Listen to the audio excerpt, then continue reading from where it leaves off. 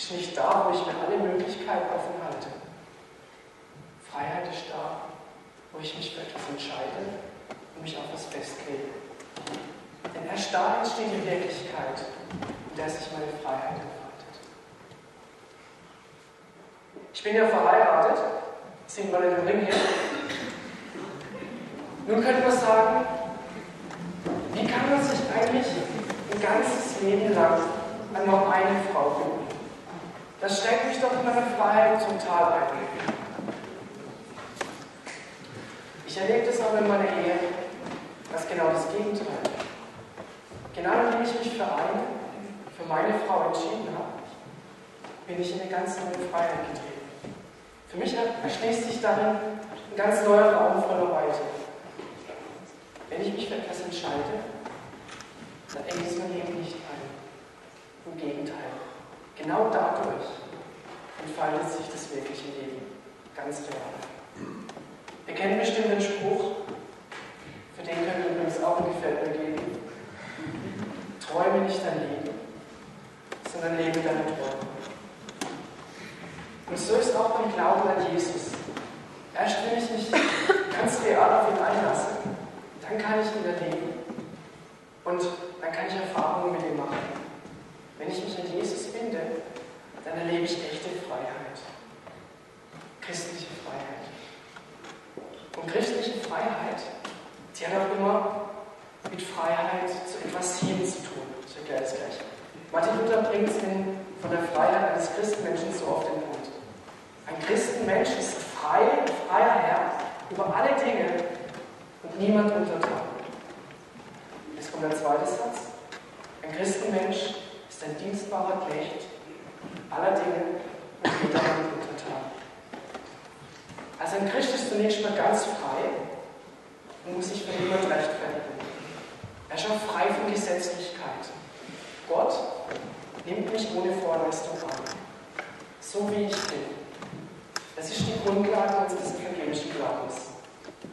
Wir leben nur aus der Annahme und Vergebung von Jesus heraus. Aber diese Freiheit ist eine Freiheit mit Verantwortung. Der Glaube an Jesus, der ist untrennbar mit Nachfolge gebunden. Mir wird es gerade selber ganz neu klar. Ich habe in meinem Bücherregal ein altes Buch gefunden von Dietrich Bonhoeffer. War ganz überrascht, das war sogar die Originalausgabe, ist bestimmt viel Geld wert. Von Dietrich Bonhoeffer Nachfolge. Ich muss sagen, dieses Buch hat mich wie fast kein anderes bisher wirklich so herausgefordert. Da geht es nämlich genau um diese Nachfolge. Und vielleicht spüren wir das auch heute. Ein zentraler Begriff bei Bonhoeffer, das billige Gnade. Und unter billiger Gnade versteht Bonhoeffer Gnade ohne Nachfolge. Also wenn mir Christsein lediglich gefällt, wenn mein Glaube für meinen Alltag so viel Bedeutung hat, wie dass sich die Erde um die Sonne dreht. Ja, schön, dass so ist. Vielleicht habe ich sogar eine persönliche Beziehung zu Jesus. Aber mein Glaube wirkt sich nicht auf mein Leben aus, weil ich Jesus nicht nachfolge. Weil sich mein Leben nicht an sein Gebot ausrichtet. Und Bonhoeffer, der benutzt hier ein ganz scharfes Wort. Er spricht sogar von Gehorsam. Ich muss sagen, wenn ich das Wort Gehorsam höre, vor allem wenn ich es in der Kirche höre, dann stellen sich bei mir gleich alle Stacheln und ich sage, Moment mal.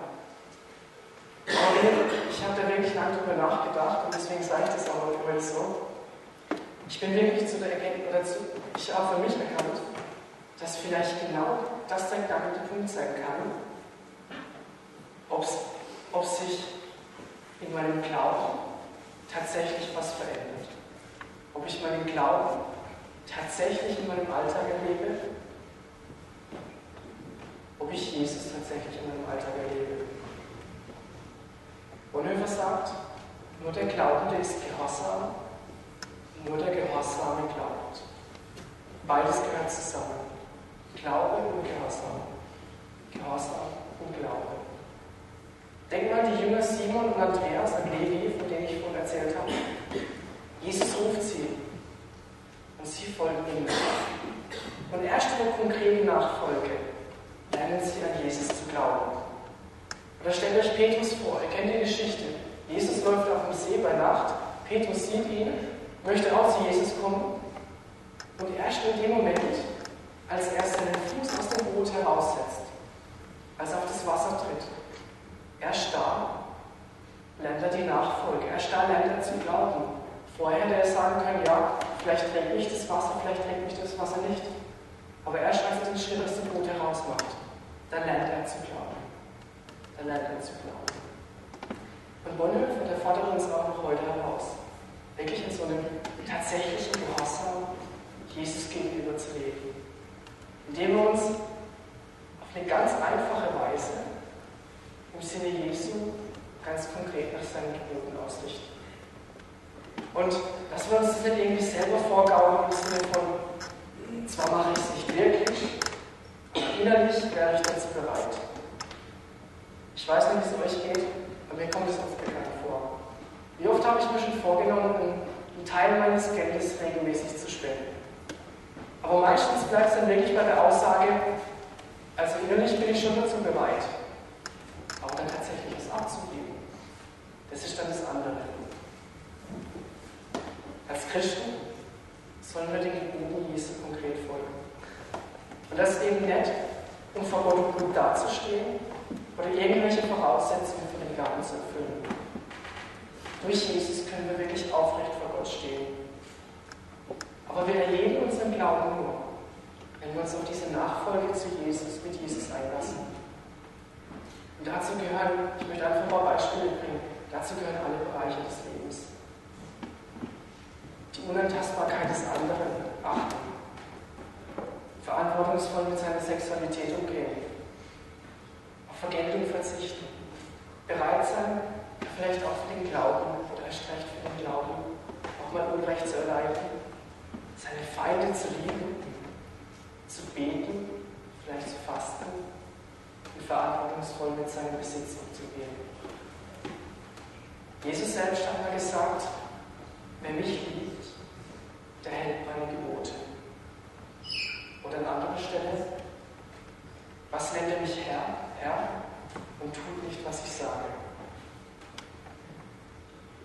Nach Jesu Geboten zu leben, das lässt sich eigentlich auf eine ganz einfache Hat Jesus selber so gesagt. Liebe und diene Gott und deine Mitmenschen von ganzem Herzen. Liebe und diene Gott und deine Mitmenschen von ganzem Herzen. Das ist das Gebot Jesu. Jesus nachfolgen. Eigentlich was ganz Schlichtes und Einfaches und doch so unglaublich schwer. Aber bevor wir jetzt Gründe suchen, warum das nicht gelingen kann, sollen wir es doch einfach mal probieren. Aufrichtig aus unserer christlichen Freiheit heraus Jesus wirklich nachfolgen. Aus seiner Vergebung und Gerechtigkeit herauszuleben auch wenn wir mal scheitern. Gott gibt uns durch den Heiligen Geist Kraft dazu. Und da lese ich auch bei Bonhoeffer was ganz Entlastendes. Er schreibt, je mehr wir in der Nachfolge leben, desto selbstverständlicher tun wir das Richtige. Auch wenn es uns ganz unspektakulär erscheint. Also unser Leben verändert sich da automatisch und wir tun Dinge selbstverständlich, nehmen sie vielleicht gar nicht mehr wahr aber wir leben dann der Nachfolge Jesu. Und ich bin wirklich fest davon Überzeugung, dass wenn wir dieses Prinzip wieder mehr lernen und einstehen, dann wird unser Glaube konkret in unserem Leben. Und ich finde es ganz interessant, dass uns das von einer ganz anderen Seite bestätigt wird. In Chicago gibt es die Willow Creek Gemeinde. Vielleicht kennt ihr die. Über 20.000 Menschen besuchen dort regelmäßig die Gottesdienste. Es ist im wahrsten Sinne des Wortes eine wachsende Gemeinde. Und man kann tatsächlich viel von dieser Gemeinde lernen. Auch hier in Axfeld. Vor zwei Jahren, da führte diese Gemeinde die Mitglieder befragen durch eine Studie, wie zufrieden diese in ihrem persönlichen Glauben sind und wie sie ihr, Wachstum im Glauben beurteilen. Und das überraschende Ergebnis war, dass, obwohl die Gemeinde augenscheinlich ruhte, nur wenige Menschen von sich behaupten, in ihrem Glauben tatsächlich weiterzukommen und Erfahrungen mit Gott zu machen.